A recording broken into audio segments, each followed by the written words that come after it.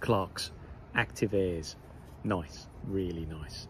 Uh, my name's James. I run channel JR74. You can like, comment, subscribe to your heart's content. To subscribe, just click on my little logo in the bottom corner just down there. Okay, and the subscribe will come up. If you want the link to this, it's in the description below the video. Right, back to this. They're a lovely pair of shoes.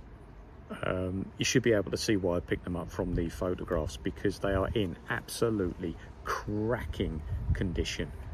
Uh, there's a little bit of grit in the grips and you know, that, that just proves to me that they've only been worn a couple of times. They've hardly been worn at all, is, is the other one. They've hardly been worn at all. Um, you know, there's there's no wear uh, there's no wear lines on them across the front or anything like that. They are in absolutely immaculate condition. They are not far off brand new. If brand new is 100%, these are 99% because they've just got a little bit of grit in these bits, which just proves that they have been worn, but not very often.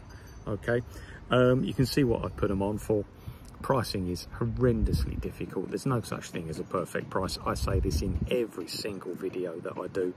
Um, have I mentioned the size? Size seven and a half. Seven and a half. Uh, if you feel that I've gone too high on the pricing, please make me an offer. I look at all offers and consider all offers. But for the time being, these are a cracking pair of shoes. I'll show them to you again. There we go. Okay, Clarks Active Airs. Lovely. Thanks for watching. Bye-bye.